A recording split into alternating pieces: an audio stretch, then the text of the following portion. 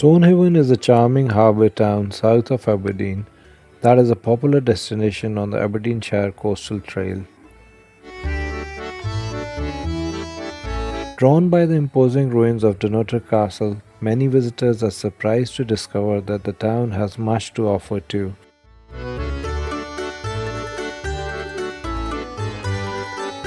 Nestled snugly by the hills that rise to the north and south of the town, Stonehaven sits behind the crescent-shaped Stonehaven Bay, where shingle and sand fringe the water's edge. Protected from the gusty westerlies on one side and the surging North Sea on the other, Stonehaven enjoys a sense of calm in the turbulent world. Steeped in history, the old town and the harbour radiate charm and curiosity, a delightful way to spend a day simply exploring Athleyer.